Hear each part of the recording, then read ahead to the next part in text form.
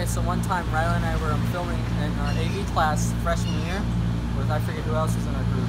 But um, we were sitting under like a stairwell area trying to figure out what we were gonna film, and Riley stuck his hand in a hole in the wall, and he screamed and flicked out like that.